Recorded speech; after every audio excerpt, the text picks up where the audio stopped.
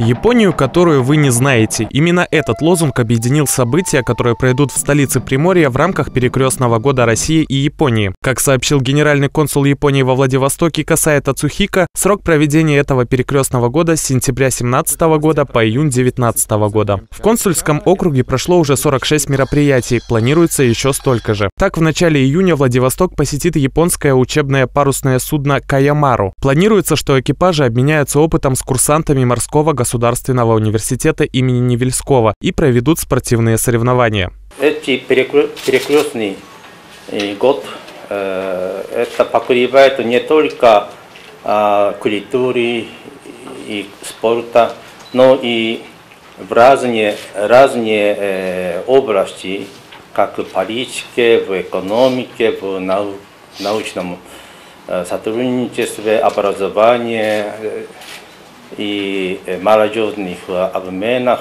э, реги, региональных обменах.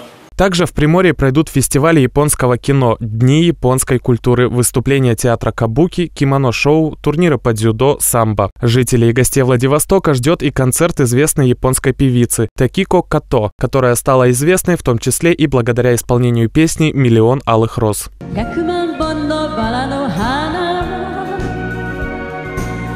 たはあなたはあなたは見て窓から窓から見える広場。真っ赤な真っ赤なバラ